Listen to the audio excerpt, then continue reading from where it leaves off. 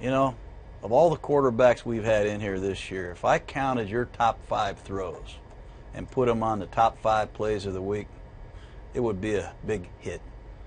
Uh, the one thing that you can do as well as anybody in the country, and anybody we've had in here, is throw the ball.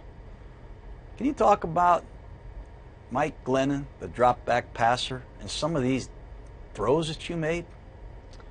Yeah, that's why you play the position and throw the ball, get the ball in the playmaker's hand, and um, that's what I've worked for my whole life is to work on my throwing motion and work on throwing the ball, and made a few along the way. I mean, these throws that you're making, there are not many guys on the planet that can flick the ball 28 yards on a dime like that.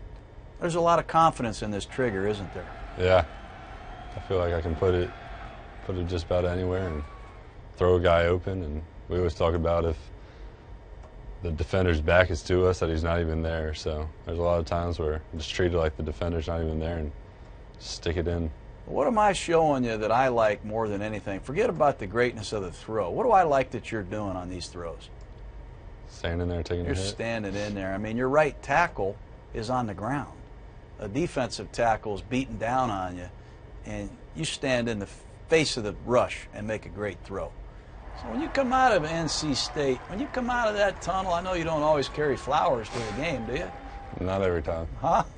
So when you come out of the uh, as a starting quarterback in the National Football League, what what am I getting in Glennon? I mean, what am I getting? Not just a power pitcher, a great passer. What what am I getting? Why Glennon? Extremely motivated. Like I said, driven to be successful. A self-starter. I'm going to come in every day and be consistent with who I am and, and work hard. Uh, great teammate. Love to develop uh, relationships with my teammates and, and get to know them. You know this play right here, this read option. Yeah. I- I've been studying you a long time.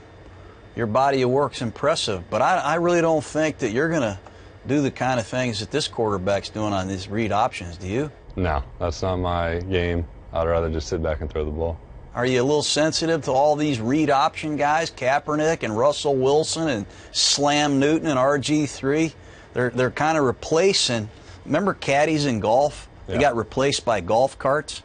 Now it seems like these read option quarterbacks are coming into the league and they're taking all the snaps away from us drop back guys. Yeah, I are you think- sensitive about that? Right now, that's something that's going on, but I think there'll always be a place for drop back quarterbacks in the NFL. I'm watching this Glennon tape, and I see Mike Glennon against North Carolina running a read option. I don't think this is your cup of tea, brother. No, it's not. So we call this a lot, and this is literally the only time in my entire career where I kept the ball. I was watching this game. Roy Williams, a basketball coach in North Carolina, he turned around and says, That ain't no Cam Newton, is it? Look at him. He can't even believe that you guys ran that play. He's, he's confused.